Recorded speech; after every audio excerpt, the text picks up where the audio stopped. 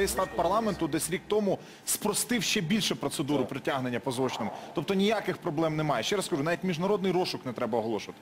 Я от хотів би ще кілька фактів навести, просто для того, щоб було зрозуміло, наскільки системно йде розвал справ по Майдану.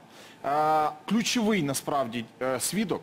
І, е, не і обвинувачений одночасно ключовий свідок, тому що це якраз та ланка, який міг би показати зв'язок між безпосередньо виконавцями і замовниками розстрілів.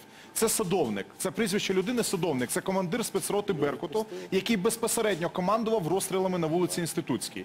А ця людина два роки тому була випущена судом. Конкретно суддя Волкова був випущений просто з-під варти і після цього знаходиться в невідомому місці. Він в розшуку, але він невідомо де. От, власне, ця людина, яка командувала розстрілами, вона була випущена українським судом, і зараз він не може дати свідчень, хто давав йому безпосередньо команди застосовувати вогнепальну зброю проти протестуючих. Це просто, щоб розуміти масштаби цього процесу саботажа і знищення цієї справи. Буквально зараз ідуть суди по беркутівцям рядовим, які так само звинувачуються в розстрілах.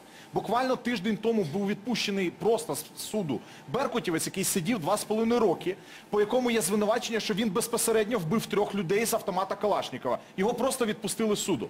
Це говорить про те, що зараз просто йде прямий саботаж в судах. Причому більше того, в судах, от я ходив на ці суди, я бачив, яке там веде нахабство. Адвокати беркутівців відверто, і беркутівці, які там в клітках, відверто хамлять, залякують під, е, під постраждалих і свідків. Судді цьому всьому потурають. І це просто йде відвертий реванш в судах зараз. І тому треба, до речі, на ці суди ходити. Владимир, я закликаю я всіх понял. депутатів, Спасибо. кому це не байдуже, і просто доводити хоча б суд цю справу.